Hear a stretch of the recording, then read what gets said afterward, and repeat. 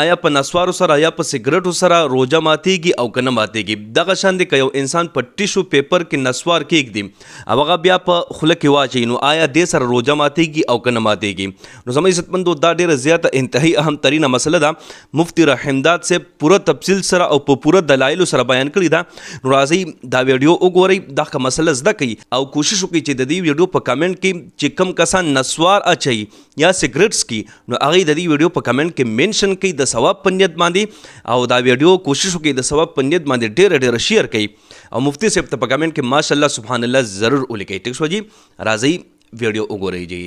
بل مسله د عزتمندو په نسوارو باندې په سرګټو باندې روزه ماتیږي کنه ماتیږي نو مختصر خبره دا ده چې په نسوارو په سرګټو باندې روزه ماتیږي فقهاو لیکلي دي د دین ماهرینو کسانو چې قران او حدیث باندې کم پوي هغه هر هغه شی استعمالول چې هغه باندې مړخ راځي یا علاج راځي یا جسم ته په تسکین ملاويږي مزه او خوند ملاويږي لکه نشه نو په دې سيزونو باندې روزه ماتيږي چې انسان وکي او چې ټیشو پیپر کې کېږي او که کاغذ کې کېږي او کار څه کېږي عام کاغذ کې چې کېږي پلاستیک کې کېږي بیا خو اثر نه کوي نو او عزتمندو ټیشو پیپر کې چې کېږي خو کمزورې کاغذي هغه نه خو خوند زی چې خوند لاړ نشي نو بیا خو نشه نشته نو بعضی کسان غریبانان دومره مجبوري عزتمندو د یو سیزم ځان مادت کوي ګوره دا یاد لرئ د خوراک کې د یو سیز ځان مادت کوي انګریزان د نشې ترجمه کوي او ډیفینیشن یې کوي تعریف یې کوي چې نشه څه ته وایي وایي هر هغه شی چې د هغې ته عادت شوې دا نشه ده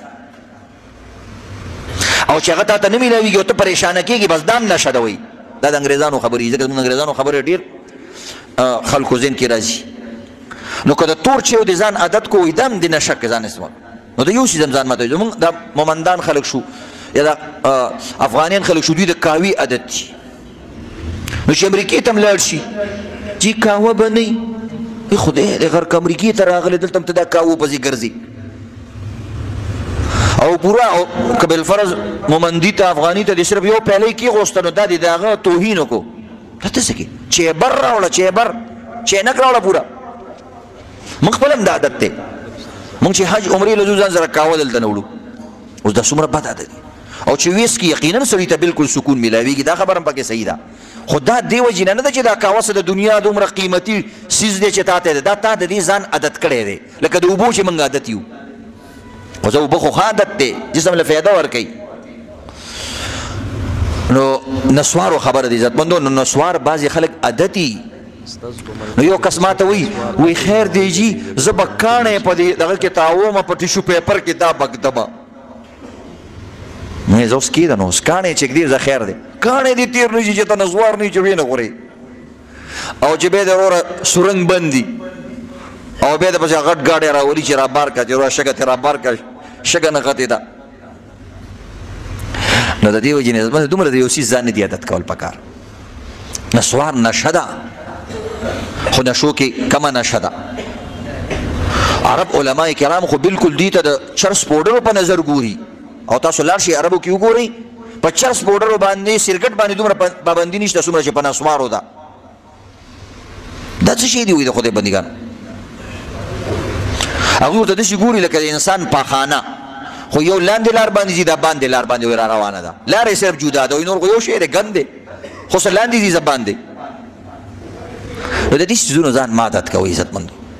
اوس ته پښتنو باندې الله رحم وکي عربيان هم ځان سره عادت کړی دي عربیان داسې کاپر نسوار کوي کنه چې حیران بشي ځکه د دوی خو وس نه کیږي دوی هم د کوسوم وسو ولا غوي ډیر اعلی نسوار کوي چې پونه کولاو کې بعضې پکې لامدې زاربي سره ناستو ما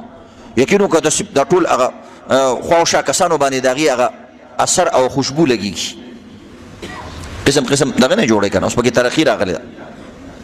نو نسواریان تبادی خلک وي غریب تبادی موږ روزه کې نسواریان تبادی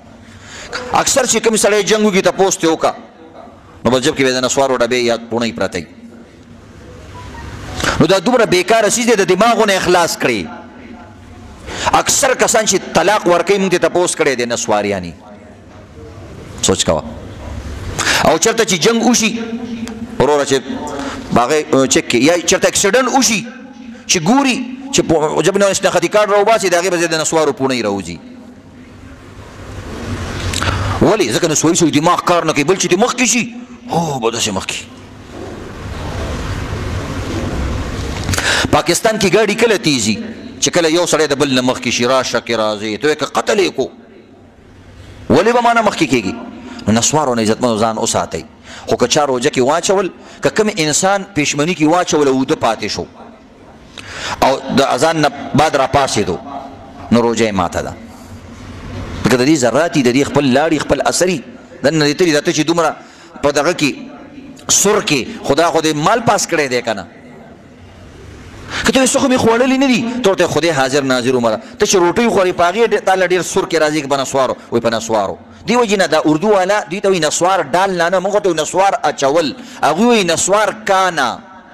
دی ډال لا تم غوی کانه وای نسوار خوړل نو دې سره عزتمندو هغه کی ځکه نشي سيزونه دا یو دې نشم وکړل به چې روزه مې لا ماته ده کنه